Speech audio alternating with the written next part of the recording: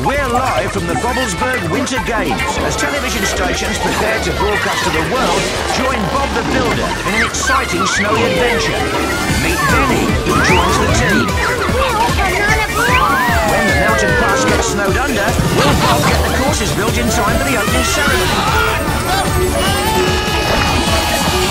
It's their biggest challenge ever. Can they build?